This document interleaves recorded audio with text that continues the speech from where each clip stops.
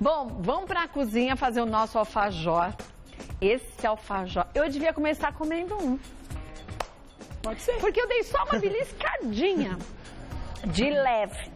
Eu vou pegar um do fundinho para não tirar a sua decoração. Você aceita um pedaço? Não vou recusar, né? Não. Eu vou pegar o abertinho já. Menino, o que, que é isso? Bom, Hum, não. vamos fazer uma Não, tortura com quem tá em casa? Vamos. Ó. Bate ele. Ó, apertar e sair Ó. o doce de leite. Nosso doce de leite é cremosinho. Agora essa massa. Só- Hum. Hum. Olha isso. Muito boa. Faz muito tempo? Olha, eu fiz essa receita umas três vezes. Só? E todas as vezes que eu fiz foi grande sucesso. Menino, como é que delícia. Tá muito bom. Olha, não é uma massa manteigada. Não. Eu não sei o que tem essa massa, mas ela é muito crocante, mas muito saborosa também. Vamos descobrir. Vamos descobrir? Deixa eu, eu vou comer só a massa pra ver se eu descubro o que ela tem. Hum. A Vivi comeu um, já me disse tudo que tinha na massa. Ó, Falei, nossa, você é boa, hein, Vivi? nossa, eu vou te falar que isso aqui dá pra fazer biscoitos. Dá, dá pra fazer os biscoitinhos muito bons. Hum, você parar igual a gente faz com bolacha recheada quando é criança. Quer ver?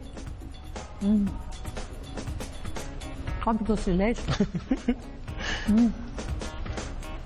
Isso é porque ela não era muito fã de doce de leite. Você vê só? Eu tinha trauma de doce de leite, era diferente. Olha isso. Mas agora. Agora já faz muito tempo que eu vendi a padaria, tudo bem, passou. Aí eu faço bolo churros, pavê de doce de leite, alfajor com doce de leite. Eu descobri que eu não gosto de doce de leite quando a receita é mal feita. Ah, então tá bom.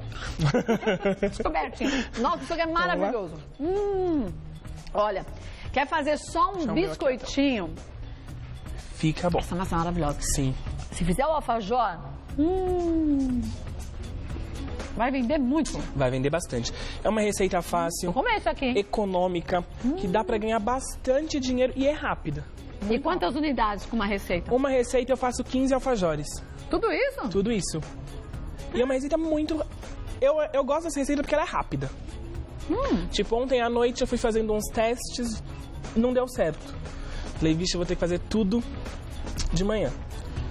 Mas tudo hoje cedo? Tudo hoje cedo. E olha que eu moro em Santo André, então pra eu chegar aqui na Gazeta eu tenho que sair de casa um tempinho antes. Então, Menino, tá prática mesmo, hein? é bem prática. Vamos lá? Vamos anotar os ingredientes? Ai, gente, isso aqui é maravilhoso. Vou começar metadinha. Passar a receita, eu como. Primeiro a massa. Anota, põe assim, alfajor fácil dos deuses. Isso é dos deuses. Pra massa a gente vai usar 200 gramas de margarina, Isso. Duas xícaras de chá de farinha de trigo,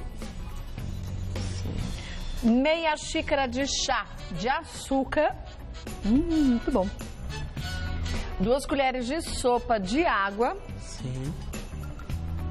e uma colher de sopa de essência de baunilha. Sim. Você em casa pode estar falando, ah, deve ser aquela receita de massa de torta doce. Não é. Não é. Não, Não isso aqui é maravilhoso. 500 gramas por recheio e cobertura, 500 gramas de cobertura de chocolate ao leite derretido é. Sim. e 200 gramas de doce de leite pastoso. Sim. Agora vamos lá. Agora É, vamos lá que eu vou acabar a outra bunda. Primeiro, algumas explicações. Hum. Eu coloquei na receita cobertura de chocolate. Hum. Que ainda muita gente tem aquela dúvida. Eu uso cobertura ou uso chocolate? Ou o que é a cobertura? Chocolate, chocolate puro, chocolate nobre, é aquele chocolate que a gente tem que fazer a temperagem. Esse aqui que eu tô comendo, gente você usou o quê? Esse daí eu usei a, te- a cobertura. É maravilhoso o sabor. Sim, por quê? Hum. É, o chocolate nobre, ele é bem doce também. Acho que a quantidade de açúcar dos dois deve ser a mesma. Mas a cobertura ela tem um pouquinho mais de gordura. Que é pra não, não precisar dar, fazer a temperagem dela. E a temperagem tem que fazer. Porque senão a gente colocaria aqui Sim, e ele ia derreteria começar tudo. a derreter. Isso mesmo. E como é uma cobertura, então eu posso cobrir as coisas com ele, que não vai dar alteração de sabor no final da receita. Ah, ficou maravilhoso. Agora, tem muita gente que fala, ah, eu não uso cobertura. Mas por que você não usa cobertura? Muita gente quer fazer, imagine a casca de ovo de Páscoa com cobertura. Aí não dá. Não dá, porque a cobertura tem um teor de gordura a mais que vai E perceber é no paladar. um chocolate maciço. Sim. Grosso, aqui é fininho, né? Isso mesmo. Aí dá pra, dá pra ter essa comparação. Então, cobertura pra cobrir as coisas, banhar, não moldar. Se for moldar, fazer cascas de ovo de Páscoa, bombons, a gente usa o chocolate nobre. Depois dessa aula, você em casa não se preocupe mais. Vai cobrir cobertura, Cobertura. de chocolate. Vai moldar chocolate. Chocolate, Isso não. mesmo. Por onde começaria? Começar pela massa. Que eu coloco a margarina Muito boa essa massa. em temperatura ambiente, tá? Tá. O açúcar, Margarina ou manteiga? margarina. E ficou ótimo de sabor. Sim. A manteiga vai deixar ela mais seca Hum. e vai ficar, ela vai ficar crocante. A margarina ajuda ela a ficar crocante e ao mesmo tempo macia. É, como ficou essa aqui. Sim. E você viu que a gente vai colocar, tudo. a gente vai colocar aqui na receita duas colheres de água. Que é pra quê? É pra ajudar ela a ficar macia, não ficar sequinha. Tá. Gente, você que chegou agora, tá me fazendo um alfajor maravilhoso. Eu comi o inteiro em duas piscadas. A massa que essa daqui já é... Anota e preste bastante atenção, viu? A gente vai repassar já os ingredientes. É uma massa divina para você fazer qualquer biscoitinho que você queira. Sim. É? Se quiser deixar ela na forno, é só deixar um pouquinho mais no forno, eu vou mostrar quando eu tirei do forno. Uhum. Deixar um pouquinho mais no forno que dá pra fazer o biscoitinho caseiro. Olha, estamos repassando os ingredientes aí no vídeo. Anota direitinho. É simples, é maravilhosa. Sim. Aqui eu coloquei açúcar, margarina, vou colocar a essência de baunilha. E por que a baunilha você colocou aqui? Então, pra dar esse gostinho, é, não sei se você consegue perceber, pra não ficar um gosto de massa, pra Hum. ficar só o gosto de farinha de trigo, a gente coloca a baunilha pra dar um saborzinho à massa. Tá. Aqui eu coloquei a essência de baunilha. Se eu for fazer biscoitinho de nozes, essência de nozes, Essência de nozes, isso mesmo. A essência de nozes e misturar as nozes picadas na massa, fica muito bom também. quanto? Mais ou menos para essa Para proporção. essa porção, eu acho que mais, mais de 100 gramas de nozes não é bom. Então 100 gramas é, é o 100 necessário. gramas? Isso, 100 gramas de nozes. Se eu quiser colocar chocolate em pó para fazer de chocolate, pode? Cacau? Olha, eu aconselho melhor o cacau. Cacau? Cacau, sim. Porque o chocolate já vai ter mais açúcar e vai, vai dar uma mudança na massa. Então colocar o cacau. Aqui, para essa quantidade de massa, meia colher de cacau. Só? Só porque o cacau é muito forte. Ah, é Principalmente se for usar aquele alcali- alcalinizado. Hum, é mais forte É ainda. bem mais forte, sim. E hoje o que encontra mais no mercado é o alcalinizado. Então, meia Então, colher de meia colher de só. sopa de cacau. Tá. Aí aqui a gente vai entrar com a água. Ficou uma pastinha, né? Sim, fica uma pastinha. Você consegue ver? Olha lá. Gente, aqui é margarina, tá? Fica uma pastinha. Não manteiga, como Isso. o Stefano disse. Com a margarina, a gente vai deixar a massa crocante, mas um pouco macia, assim, firmezinha. E Isso. com a manteiga ela ficar quebradiça, né? Isso mesmo. Aí aqui eu coloco as duas colheres de água. Ah, Eu coloco as duas colheres de água, mas sempre deixo um pouquinho aqui, porque pode precisar, tá bom. tá bom? É, se a gente coloca tudo de uma vez, depois você tem que ficar pondo mais farinha e muda a É, proporção, Isso né? mesmo. É aqui, ó. Vou colocar aqui atrás. Tá. Vocês viram a pastinha que formou? É uma pastinha mesmo, ó. Rendimento 15 15 alfajores. alfajores. Bastante. Aí aqui a gente... Vamos com a mão. Você já fez no processador? Então, tem que ter um processador potente. Por quê? Porque o processador, muitos processadores vai conseguir fazer até esse estágio e na hora de colocar a farinha, Aí já não dá. aí já não dá conta. E tá? na mão a gente consegue ter Na a mão a textura gente consegue ter a textura né? da massa, isso mesmo. A farinha eu sempre coloco aos poucos, tá? Tá. Pra eu sentir se a massa vai me pedir mais ou menos farinha. Eu coloco duas xícaras porque o que eu sempre coloco uma receita, Kátia, Hum. o que a massa mais me pediu. Tá. Tem farinhas, tem marcas que é mais secas, tem, mas- tem marcas que é mais molhada, que é mais úmida. Então, é, o, que eu, o máximo que eu fiz, essa massa foi duas xícaras, nunca passei disso. Então tem que ficar de olho nessa textura nessa da textura massa, da massa. Isso né? mesmo. E fazer com luva não gruda mais? Então, vai grudar mais na mão. É. Eu prefiro fazer. é, eu prefiro fazer sem luva. Por que você não faz sem luva? Porque muita gente fica falando nas redes sociais, vamos fazer com luva, porque os culinarinos. Então vamos evitar, né? Então. Você sabe que teve uma pesquisa que provou? Olha, agora vocês vão ficar de queixo caído. Eles pegaram várias pessoas que trabalham em cozinha, metade com luva e metade sem luva. As mãos mais limpas, portanto, mãos sem luva, foram as, as encontradas em quem não tinha luva. Nas luvas, a maior concentração de bactérias foi encontrada, sabia? Resumindo, a mão mais suja era na luva. Então vamos fazer o seguinte? Que a pessoa acha que tá com luva, ela pega o negócio embaixo. Ela esquece que a luva é para proteger o alimento, não é para si, proteger a mão. E a, luva, a mão, ó, a gente lava a mão o tempo inteiro do jeito certo. Já que contra fatos não há argumentos, Contra pesquisa. então vamos e dá diferença na massa. a diferença na massa. Vamos com a mão mesmo. Olha lá. Como Na na, mão eu luva tava consigo grudando? sentir a massa. Esse é o melhor, sabe? E na luva tava grudando. Na luva Se você tava fosse grudando. pela luva, você ia pôr mais farinha aqui, né? Sim, isso mesmo. Se eu fosse pela luva aqui, eu já ia, já ia falar, Gabi, me socorre. Preciso de É. farinha. E a massa vai ficar com outra Sim, textura. ó, ela gruda um pouco na mão mesmo. Tá. Mas é por quê? Porque aqui é uma massa de manteiga. Ela vai pra geladeira. Você vai deixar na geladeira por quanto tempo? Espera. Eu vou deixar na geladeira por mais ou menos uma meia hora. Esse é o aconselhado. Tá. Meia hora na geladeira. Aqui enrola num plástico filme E geladeira. e geladeira. Tá. Eu tenho uma aqui gelando, só lavar minha mão. Deixa eu pegar pra você. Meia hora na geladeira. Aqui, ó. Olha a textura dela. Ela continua macia, né? Ela continua bem macia. Ó, não fica Mas ela já durona. vai. Isso. E ela já gela, não vai. Aqui, ó. Não vai grudar na mão. Não vai grudar na mão. Você pode ver que quando você colocar na geladeira, ela vai estar grudando um pouquinho na mão, mas não é tanto igual tava grudando na luva. Tá. Aqui, ó. Consistência dela já é outra. Olha a consistência dessa massa. É, então muda muito, Ó. né? Você pode deixar na geladeira por quanto tempo? Ó, essa massa na geladeira, antes de fazer, eu posso até congelá-la. Ah, eu é? deixando ela assim na geladeira, eu congelando, fica 15 dias na geladeira. 15 dias? 15 dias na geladeira. Mostra a textura de novo pra gente. O pessoal acabou. Mostra. Não, vem. Ó. Ó, Tá ela vendo? não gruda. Não gruda, ó lá. ela não, gruda, na mão. Tá Isso. vendo? Ó lá. Tá? Tá. Certíssimo. Aí aqui, Tem que ser no filme, no filme, no papel manteiga? se a sua forma for um antiaderente bom, não precisa. Não precisa. Mas eu prefiro, eu coloco papel manteiga sempre. E tem essas formas com antiaderente que são boas, mas tem umas que são formas pretas. Sim, não tem antiaderente. não tem antiaderente. Isso, E ele é fininho, aquilo tosca isso tudo, mesmo, né? bem isso mesmo. Eu prefiro o papel manteiga por quê? Porque o papel manteiga vai ajudar na hora de tirar.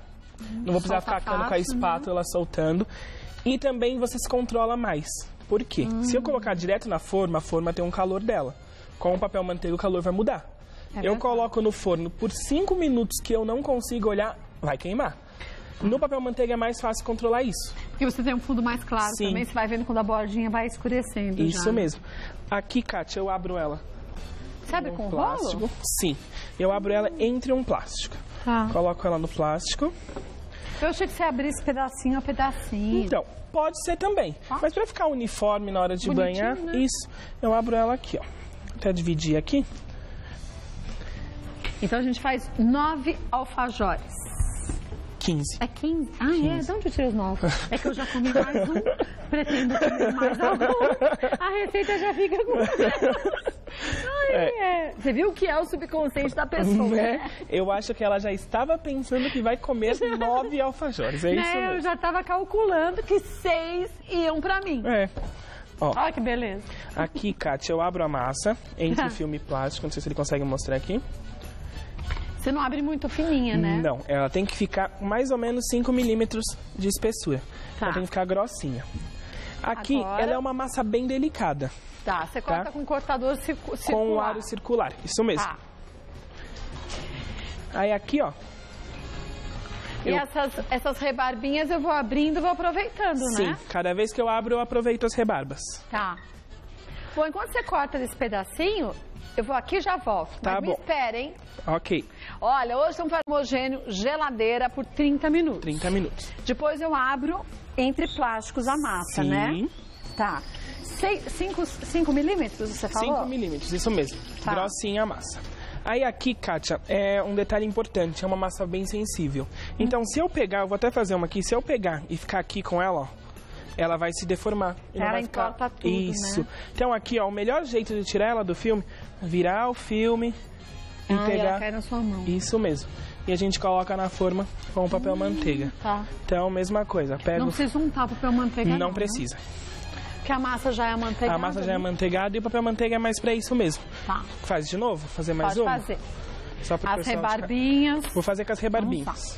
Vamos chamar essas rebarbinhas de novo. Quer fazer em formato de coração? Sim. Só usar um cortador diferente. Isso né? mesmo. E pra fazer as bolachinhas, Kátia, é só deixar um pouquinho mais no forno. Faz esse mesmo processo. Tudo igual. Tudo igual Tá. e deixa um pouquinho a mais no forno.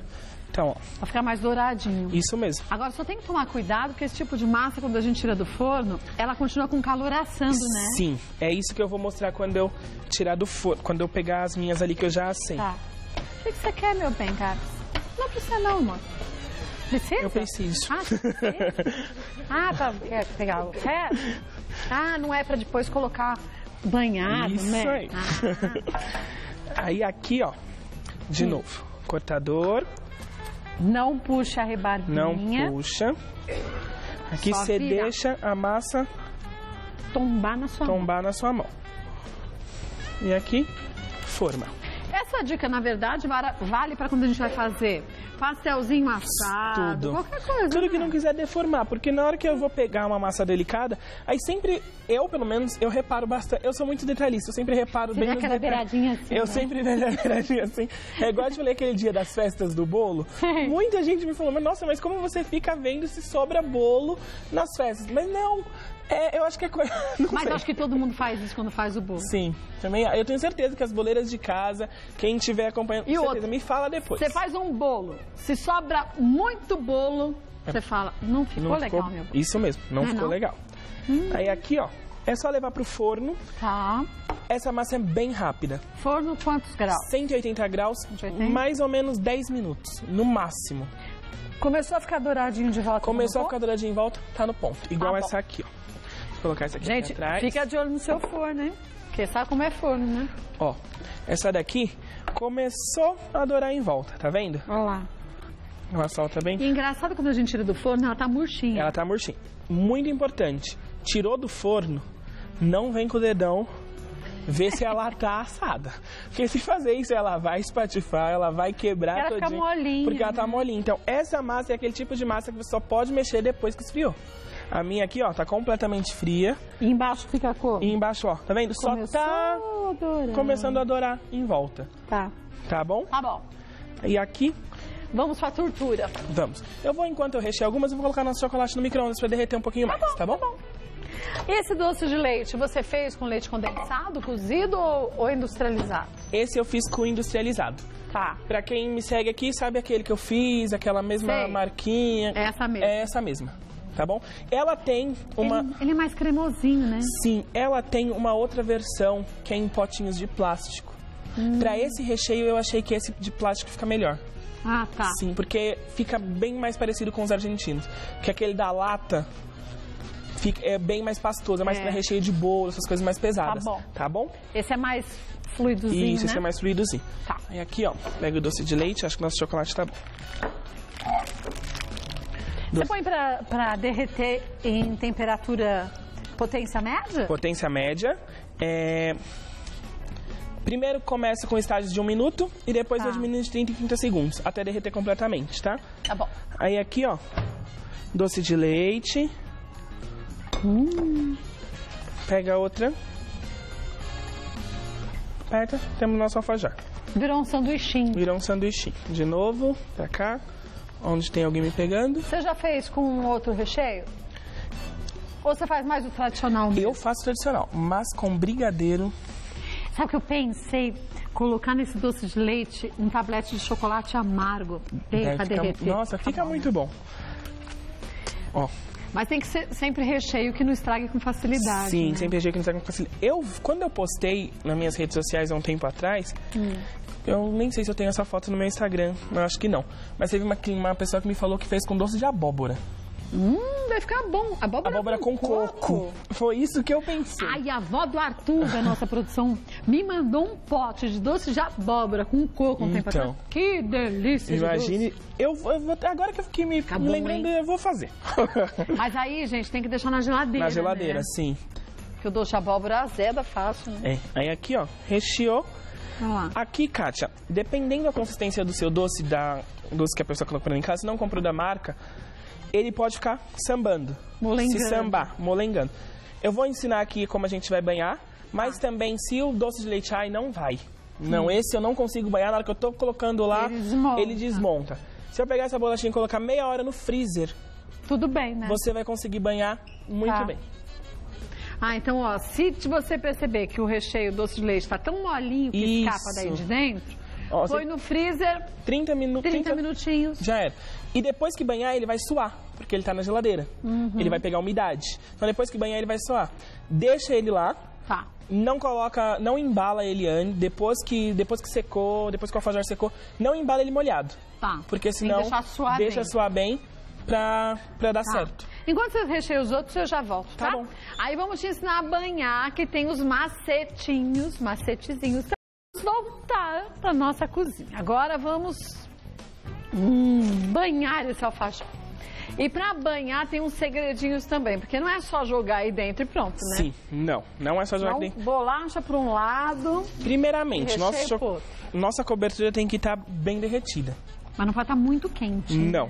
E como eu sei que a nossa cobertura tá bem derretida? Hum. Teve uma pessoinha aqui, sabe? Sei, tipo a Gabi? Isso, isso mesmo. Ficou fascinada quando ela viu isso. Aqui, ó. Pra saber se o nosso chocolate tá derretido, eu não sei se o câmera vai conseguir pegar, ele tem que pegar bem aqui. Na hora que eu levanto o chocolate, reparem na curva que ele faz. Tá vendo? Não sei se vocês aí em casa vai conseguir ver que ele, Ele faz uma curvinha, ó, Isso. igual deu pra ver. Ele faz... Parece faz que é uma um- fita. Isso, uma espiral. Ele vem bem... Eu não sabia que era assim, não. Sim, é pra saber se ele tá bem Ah, que legal. bem derretido. Friozinho Isso, também. bem derretido Que e legal. friozinho. Que isso o chocolate tá. Como que eu posso dizer? Tá, Na tá temperatura líquido, isso certa. na temperatura certa, isso mesmo. Legal. Aí aqui, ó, o chocolate tá assim, a gente vamos para Vamos banhar. banhar nossos Você não alfajores. usa aquele garfinho pra banhar chocolate? Então, nem sempre tem aquele garfinho em casa para banhar chocolate. Eu achei ótima a sua opção. Eu peguei aquele garfinho de frango. É muito melhor porque ele é maior. não Isso, fica não fica escorregando, não fica escapulindo. Sabe aquele garfinho de É frango o de da frango, vovó? gente. Esse tenho certeza que todo mundo tem em casa. Esse é muito melhor. E ainda vou mostrar a opção número 2. Se ninguém conseguir esse, pega um garfo grande, Comum. um garfo comum grande, Também dá vai. pra fazer a Sim, mesma vai. coisa. Vai precisar ficar enchendo o armário com um monte de Não, cacareco. eu vou banhar com os dois aqui, ó. Isso, Quer ver, ó? faz isso. A gente pega nosso alfajor. Lembra, se ele tiver molinho, freezer, não vai Freezer, fazer isso. hora. Colocou, virou, Gente, esse chocolate é o chocolate cobertura, É a lembra? cobertura, O que o isso Stefano mesmo. explicou, hein?